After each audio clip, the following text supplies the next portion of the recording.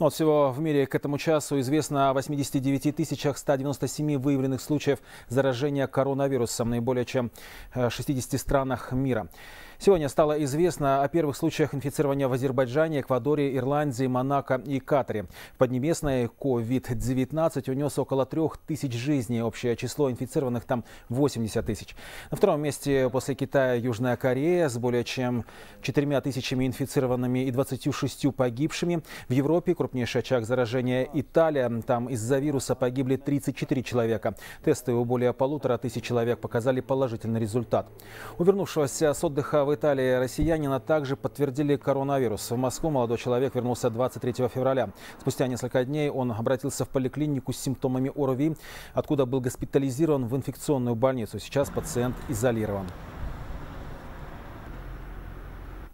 Но между тем растет число казахстанцев, желающих покинуть охваченную коронавирусом Южную Корею. Однако билетов нет, их уже раскупили. Владислав Цой о проблеме логистики. В деревне, что в 50 километрах от Сеула, свой самолет до Нур-Султана несколько дней ждет карагандинец Максим Вагнер. Два года назад он создал в Корее компанию по поставке автозапчастей. По работе ему приходится несколько раз в год ездить домой. Коронавирус уже помешал бизнесу и теперь угрожает его жизни.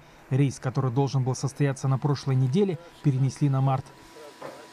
Сокращение рейсов не нужно было делать, потому что если было определенное, было определенное число желающих, они тем не менее в любом случае будут э, пытаться уехать теми или иными способами. И чем дальше они здесь будут находиться, тем больше риск э, возможного заражения. В одной из туристических компаний подсчитывают убытки. Больше 500 ее клиентов отменили поездку в Казахстан. Южнокорейцев отпугивает сокращение количества авиарейсов и непонятная ситуация с карантином. Казахстан если бы власти Казахстана заранее объявили бы о карантине, четко расписали бы правила, нам было бы легче. Сейчас самый сезон для туристов. С января по март в вашей стране много снега, поэтому среди южнокорейцев популярны лыжные туры на Чембулак.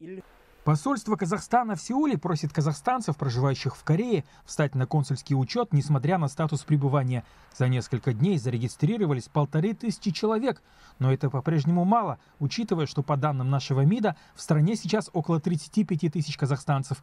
Между тем, билеты на мартовские авиарейсы из Сеула в Нур-Султан и Алматы забронировали больше двух тысяч наших соотечественников. Но на всех мест в самолетах, увы, не хватит, и кто-то будет вынужден лететь через третьи страны. Владислав Цой, Ольга Лян, Хабар 24, Южная Корея.